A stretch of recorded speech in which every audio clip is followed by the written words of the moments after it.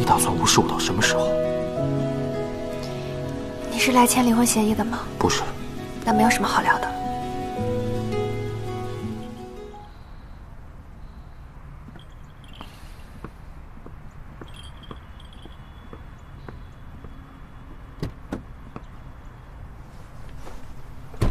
这就是你租的车啊？怎么有意见？我以为你怎么得租一个费油的高级货，没想到连油都不用烧，纯电的环保。失敬失敬。哎，他来了。师妹，今天我们坐江总的顺风车。不用了，我搭公交就好。我真的是顺路，而且昨天你也送我们了。就是，跟他甭客气，上车。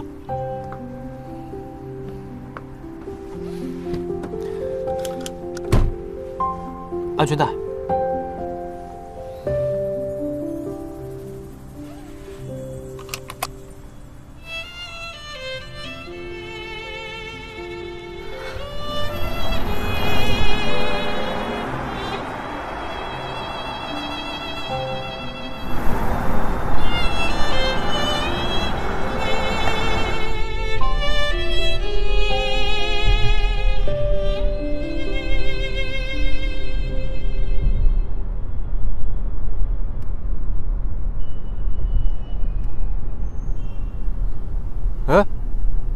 音乐怎么惹着你了？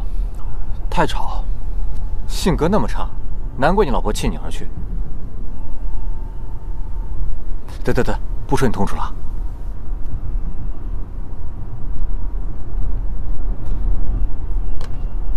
你这怎么还挂个银票啊？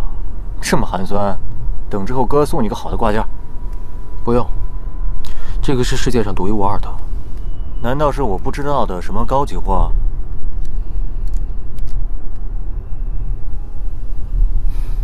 这个是我老婆亲手做的。租个车还挂这些？我记得你以前特别不喜欢这种零零碎碎的东西。我老婆喜欢。你真的是三句话不理你老婆？哎，那当初她因为什么事离开你的？没事，小师妹不会说出去的，对吧？小师妹睡了，你给我一人说。你小点声。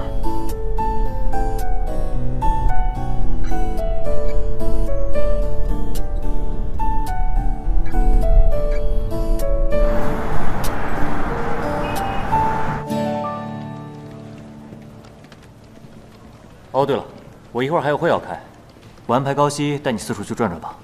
我想先了解一下网管部的情况。你来影视公司了解网管部的情况？你可以理解为这是职业病。那你俩应该挺有共同语言的。小师妹，任务就交给你了啊，让他见识一下我们网管部的厉害。好。先走了。嗯。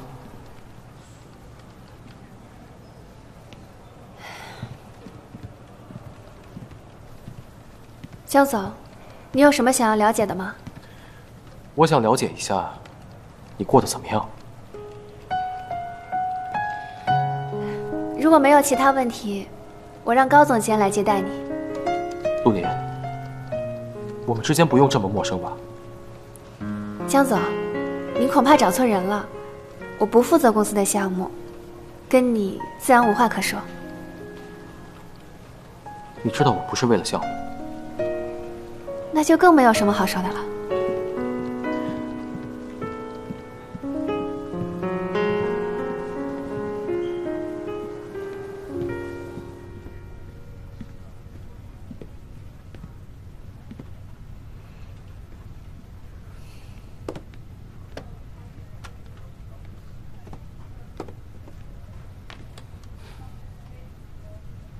我们需要聊一聊。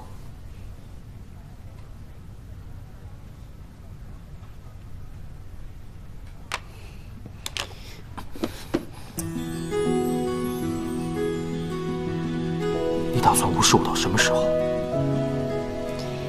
你是来签离婚协议的吗？不是。那没有什么好聊的。我们之间就只剩下这些了吗？你都不好奇我为什么留下来吗？我不关心。江总，麻烦您让一下，我还有工作呢。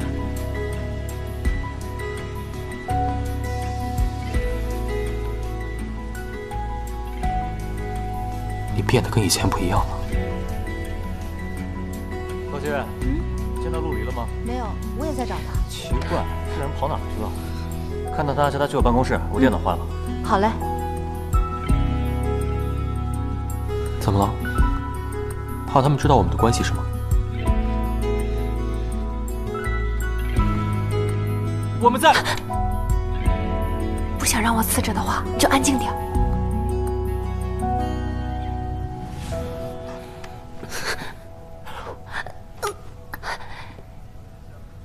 你属狗的呀！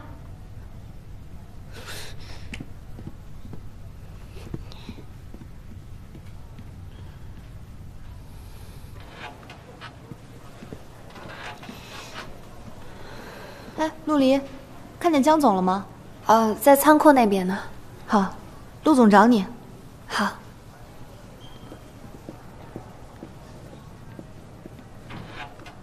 江总，呃，陆总吩咐我来招待您，有什么需求您都可以跟我说。正好有件事情我还挺好奇的，昨天吃饭的时候看你们陆总跟陆离的关系比较的亲密，他们是什么关系啊？啊，江总，我只是下属，不太适合议论老板的私事。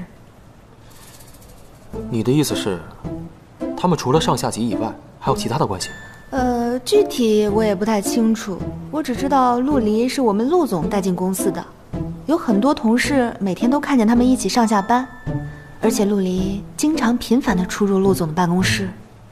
陆离这个女孩看着挺单纯的，但其实心思挺深的，也不知道用了什么手段，使陆总对他这么上心。江总。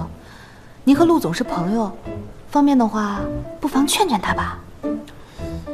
嗯，哎，高总监，我听说你是重庆人啊？对啊，江总如果有兴趣游览重庆的话，我很乐意做您的向导。哦，我听说重庆有十大特色小吃，午休之前帮我买齐吧。